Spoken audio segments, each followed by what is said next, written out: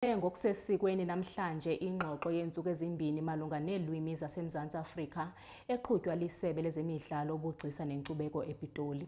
Le ngxoxo yonyaka ngonyaka idibanisa ndawonye iingcali ngeengcali zeelwimi eziphuma kumasebe karhulumente kunye namaqumrhu abucala ukuze ziqwalasele umga osele wanjiwe lilizwe kuphuhliso nolondolozo lwazo zonke iilwimi zasemzantsi afrika. Umsitho walo nyaka ubanjwe phantsi komxholo othi ukuphucula iilwimi zomzantsi afrika kumzantsi afrika ongcono ukubhiyozela iminyaka engamashumi amathathu edemokhrasi nokungaphaya. Isebe lezemidlalo ubugcisa nenkcubeko livule ngokusesikweni iqonga lesizwe lokubambisana nabasebenzi beelwimi eliyindibano yantsukumbini ebanjelwe epitoli. Eli qonga lijonge ukukhuthaza intetho engowiso-mthetho lolwimi zophunyezo komgaqo-nkqubo wolwimi kunye nokukhuthaza ulwimi. Ukuquka nokukhuthaza ukusetyenziswa kweelwimi ezisemthethweni kuwo omathathu amacandelo karhulumente. Today we're having um, a session which we refer to as a stakeholder engagement forum. Um, from a few years ago, we reinstituted this particular forum because of the importance of alignment um, across AMA spheres of government.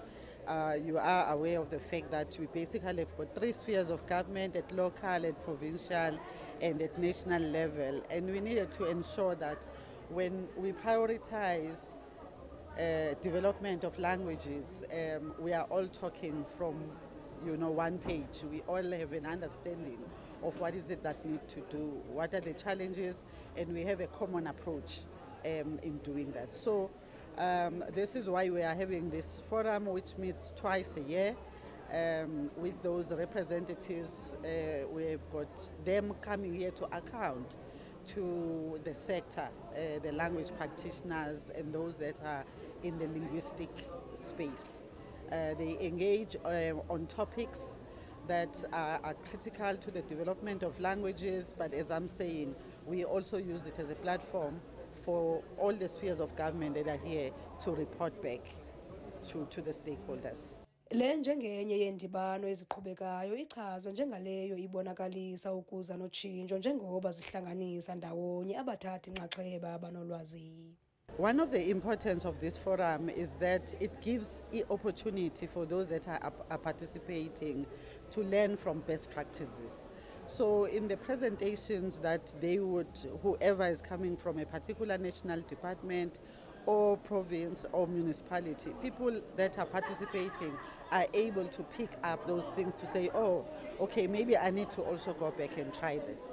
One of the things that is critical for all government departments across the three spheres is for them to have very clear language policies.